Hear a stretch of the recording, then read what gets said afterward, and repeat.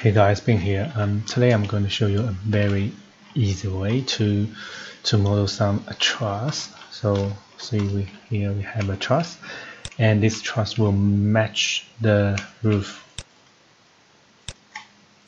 Okay, and if you so for example you edit the um, the pitch, change the angle for for and will still match okay so let's do it. Okay so first create a um, structural truss family. Okay so in this truss family so we can we, we just need to create a top chord here and then create a bottom chord okay so uh, I'll skip all the web. So you can you can add webs, but um, in this exercise, I'm just going to use these two. Okay, so that's it. So this is the truss family. Okay, so now let's create a project.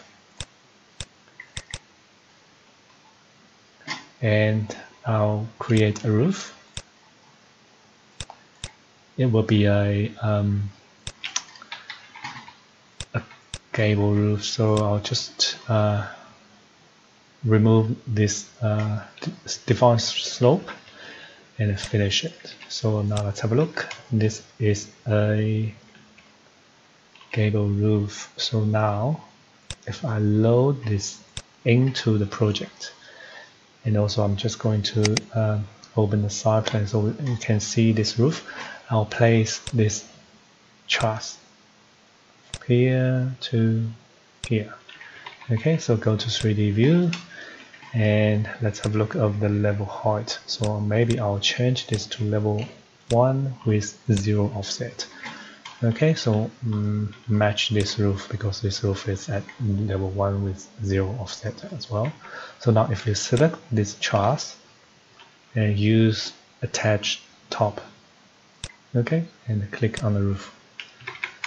See that's it. And um, and if you change the roof shape see? Even if you use different um, pitch for each side. So for example maybe this is 1 or 10 degree this is uh, 45 finish see?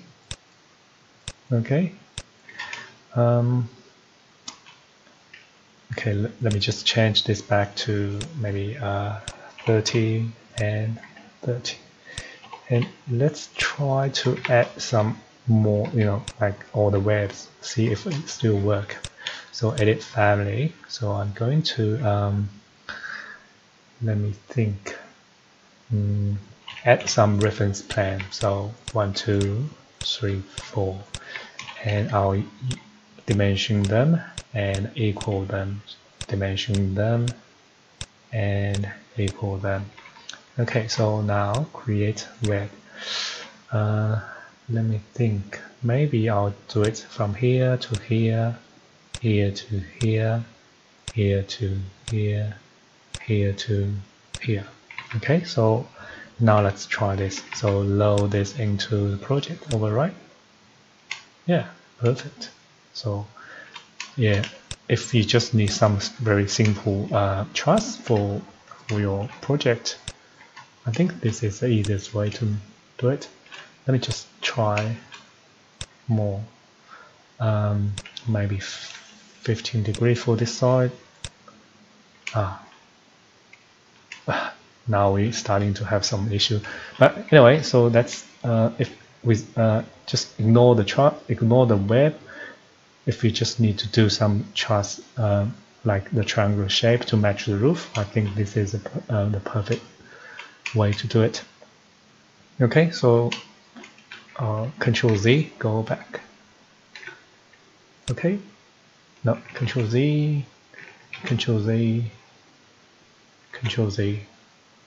And also if that's a normal gable roof with the same pitch, uh, page so it will be still perfect use. Okay. So that's it. So um, tomorrow uh, um, we'll talk about another method. So in that we are going to use some formula trigonometry again. Okay. So thank you. I'll see you tomorrow. Bye